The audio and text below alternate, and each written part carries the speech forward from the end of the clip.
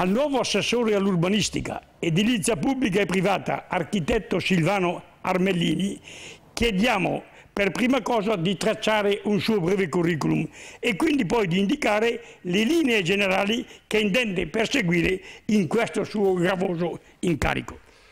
Buonasera a tutti, sono Silvano Armellini e sono il nuovo assessore all'urbanistica del Comune di Albino. Sono architetto, ho 36 anni e sono un funzionario di, eh, di una pubblica amministrazione, sono responsabile di un ufficio tecnico comunale. Eh, da qualche mese abbiamo avviato insieme ad altri, ad altri amici questa, questa, nuova grandissima avventura di amministrare il comune di Albino e così come gli altri sono pieno di entusiasmo, pieno di energia rispetto all'incarico che, che, ci troviamo ad affrontare. Eh, per la verità eh, arriviamo a gestire il comune di Albino in un momento di profonda crisi, eh, profonda crisi economica che riguarda tutti i settori, dall'industria al commercio e riguarda nello specifico anche eh, in modo profondo tutta l'attività che ruota intorno al, te al, al territorio, attorno all'edilizia. Infatti moltissime delle imprese che fino a un paio d'anni fa eh, stavano così solcando acque di, così di, di, grande, di, grande, attività, oggi sono in crisi e, alcuni si trovano anche costretti a licenziare personale se non addirittura a chiudere.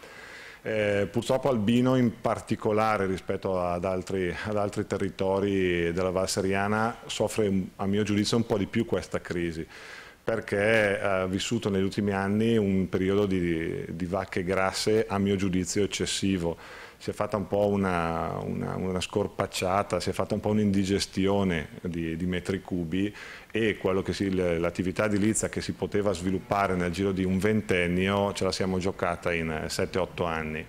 Purtroppo dopo l'indigestione eh, si deve andare avanti un po' di tempo a, a riso in bianco e, e, noi purtroppo stiamo affrontando a partire dall'anno scorso il periodo eh, per alcuni drammatici di, di, dieta, eh, di dieta anche economica. Tant'è che anche le entrate per l'amministrazione comunale derivanti dagli oneri di urbanizzazione stanno vivendo una crisi profonda che si riflette poi sui servizi al cittadino, sulle opere di urbanizzazione. Infatti eh, stiamo davvero avendo alcuni problemi per, eh, a volte per, anche per garantire i servizi essenziali. Come uscire un po' da, da, questa situazione? Dobbiamo guardare oltre questo periodo e cercare di ribaltare un po' il punto di vista rispetto a prima. Prima si è governato sulla logica della quantità, puntando a massimizzare i metri cubi, puntando a spingere al massimo sull'acceleratore della quantità. E i risultati sono nefasti perché abbiamo avuto edifici eh, terribili, eh, alcuni veramente considerati da tutti degli scempi edilizi, e, mm, spesso poi che hanno creato difficoltà agli stessi operatori per essere utilizzati. Bisogna invertire la rotta e cominciare a parlare di qualità di, della trasformazione edilizia, pensando a quello di cui la gente ha effettivamente bisogno. Un'ampia intervista all'architetto Armellini verrà proposta dalla nostra emittente televisiva nel corso del settimanale il venerdì. Da Albino, linea allo studio.